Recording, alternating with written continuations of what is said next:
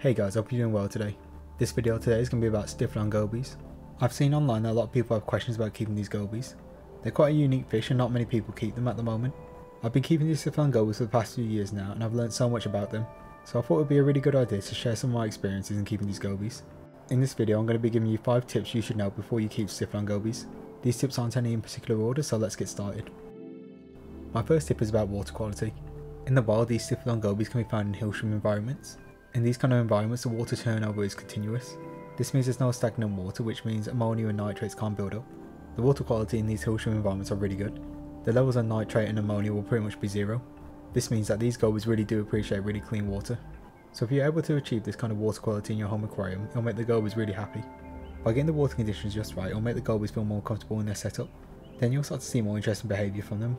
You might see some breeding behaviour if you have females in the tank. And then you'll start to see the males show off their breeding colours. In their breeding colours they look totally different compared to their normal colours. It really is an amazing sight to see, so try and keep your water quality as good as you can. To keep your water quality nice and clean, water changes will be the main thing. A good routine would be to do a 25% water change once a week. These water changes will help to remove any ammonia and nitrate that builds up due to fish waste. Then when you add the fresh clean water back into your aquarium, it will help to dilute any remaining ammonia and nitrate in the water column. If you stick to this routine, the water quality in your aquarium should stay really good. And if the water quality is really good, the gobies will be really happy too. My next tip is about deworming these gobies. All Stiphodon gobies are wild caught. They can breed in fresh water, but when the eggs hatch they need salt water to survive. This makes raising the fry very difficult in the home aquarium. So this means any Stiphodon gobies you see in your local fish shops have come from the wild. These gobies have some scavenger characteristics. Most of the time they'll be scavenging for food off the bottom of the riverbed. This means when they're trying to find food to eat they may end up eating worms or parasites. Once the parasites or worms are inside the fish they'll start to steal nutrients from the fish. So you might see a goby eating a lot, but all those nutrients are just going to waste. The parasites are stealing their nutrients away from the goby. These worms and parasites essentially starve the goby of nutrients and food. Over time you might notice your goby starting to get thinner and thinner. This is a classic symptom of internal parasites. Another sign of infection is seeing long stringy white poop from your goby. The white almost translucent colour is due to the fish not digesting any food. If left untreated, the fish won't survive for very long. So the first thing you should do when you get new gobies is put them into a quarantine tank. This will stop the parasites from infecting any other fish in your aquarium. Then to get rid of the internal parasites you'll have to use an anti-internal parasite medication. In the past to treat my fish I've used Sera Nematol and also the API General Cure 2. Both of these medications have worked really well for me and they're also really simple to use too. If you want to try them out for yourself I'll leave a link in the description below for you guys. Most of the time these medications involve you dosing the tank and then doing a massive water change afterwards. Then you repeat the dosage again followed by another water change later on. And then once the gobies have been treated you can re-add them to your main aquarium. If you do this, your gobies will be a lot healthier and live longer. Stiphodon gobies can live longer than 5 years, so it's really useful to do this. This tip is something I wish I knew when I got my first Stiphodon goby, and that tip is to have a lid on your aquarium. These Stiphodon gobies are great climbers. These gobies are evolved to live in environments that have fast flowing water. Underneath their body they have this special little muscle. This muscle helps the goby stick to almost any surface. This is a really good evolutionary feature as it stops the goby from getting washed away in the fast flowing water.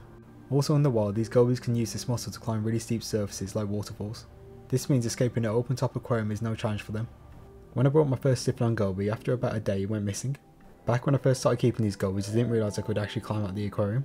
So after looking all around the aquarium, I still couldn't find the goby.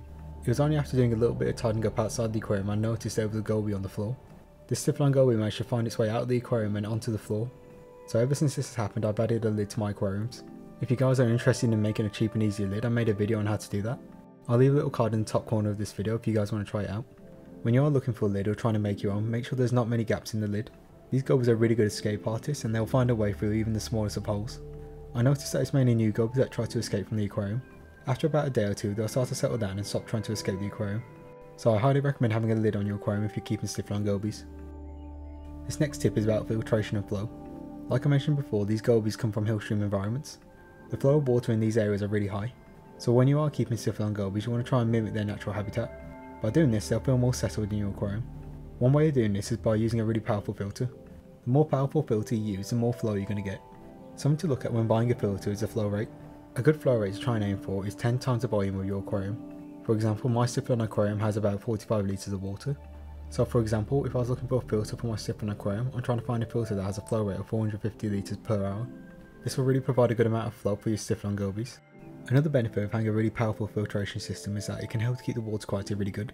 The larger filter have more capacity for biological filtration to occur.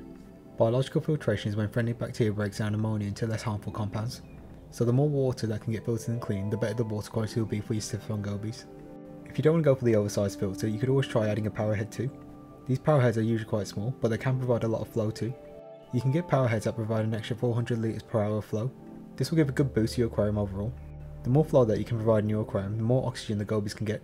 Since these gobies are from hill stream environments, they do get a lot of oxygen in their water. The more oxygen you can provide in your water column, the happier the gobies will be.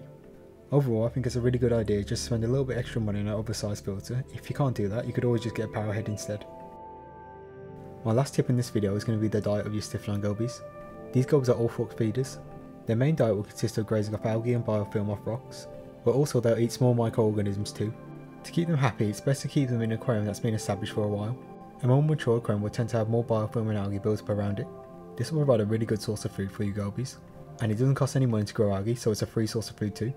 If you are a lucky fish keeper and you're struggling to grow some algae for your gobies, you can just leave the light on on your aquarium for a little bit longer. The longer photo period would help the algae grow a little bit more. However, I think it's a really good idea to keep the diet of your gobies varied. I like to feed my gobies a variety of food. My go-to foods for these gobies would either be Repashy Soylent Green or algae wafers. Repashy Soylent Green is a really good algae substitute. My Stiphodon gobies go crazy for this stuff. In the background you can see my gobies going crazy over this Repashy Soylent Green. It's a really good food and I think the gobies are really enjoying it too. It's also very quick to make and it lasts a long time if you put it in the freezer too. Once or twice a week I'll drop a cube into the tank and just let the gobies go wild on it. Algae wafers are also a really good choice too. I've been using the Hikari branded algae wafers. It takes a little bit of time for them to get used to eating it, but after a while they do just start going crazy for it like the Repashy. If it's your first time feeding your gobies some algae wafers, I recommend only putting a little bit in. It takes a couple of feeds to get the gobies used to this food, but after a while they instinctively go for it. Another food I like to supplement my gobies diet is to feed them frozen baby brine shrimp. When you feed the frozen baby brine shrimp, it will scatter around the whole aquarium. Since the gobies do have some scavenger characteristics, they'll go around the aquarium trying to find this food. It's also a really good source of protein, so if they are looking a little bit skinny, you can feed them a little bit of brine shrimp and they should start to fatten up a little bit. So I hope you guys enjoyed this little video on me sharing my tips on how to keep Stiphodon gobies. They can be a little bit tricky to keep, but doing your research before buying them always helps. Stiphodon gobies are really unique fish to keep. These fish really do have a lot of personality. They really do add something special to your aquarium. There's so many species available to buy, so there's plenty of variety out there. Hope you guys learned something useful about keeping these gobies. All these tips have come from my experience of keeping these gobies over the past few years. So I'm hoping by sharing my experiences you guys can keep these gobies successfully too.